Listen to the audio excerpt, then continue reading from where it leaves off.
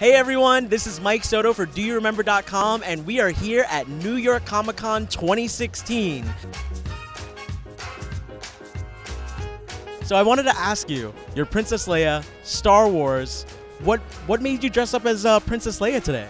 Actually my favorite character from all of Star Wars, and my family has always been really into them. I remember when I was little with all my cousins, we always just had Star Wars marathons, and this is like the first like Leia I remember. So I kind of was just drawn to her. And I happen to be with the Cape Crusaders themselves, Batman and Batgirl.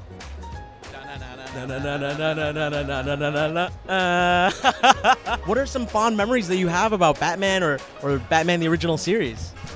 The adventures, the villains, uh, the um, going through the traps and figuring out how to get through them. They were just completely ridiculous, but you gotta love it. So campy, such great memories, and I gotta ask, what about you, Batman? I well, just like Batgirl, I watched it with my dad. Come on, I was growing. Uh, today's my birthday, Turn turning 58. So 58, happy birthday, Batman! that's why the mask gets bigger and bigger. You see, you gotta hide it all under here. But come on, I watched it with my dad. It was awesome. He loves superheroes. I love superheroes. And at New York Comic Con is where we honor them. Come on, this is where it happens. Well, this is like the biggest and best birthday party anybody can ask for. What inspired you to dress up as Labyrinth characters today? It's my favorite movie. And my favorite actor slash singer, David Bowie. David Bowie, legend. He will be missed, absolutely, but always remembered. And I know you're from Labyrinth as well, but what made you choose Sarah? Uh, Labyrinth was one of my favorite movies growing up because it was my mother's favorite, and I decided that to respect David Bowie since he passed this year, that I should go as a Labyrinth character.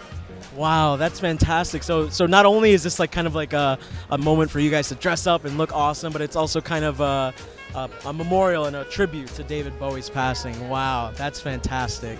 So, do you have any fond memories of uh, Labyrinth with your family or friends, or do you have any fond memories to share? I first saw it with my friends when it first came out, and we all went to see it because of David Bowie. And I think I watch it every year religiously. When did she get you hooked on David Bowie's awesome Labyrinth movie? From when I was born till now, I'm 27 now, and I still love it. Um, to me, it's a movie that me and my mom love together and love to watch together, so that's my fond memory of it.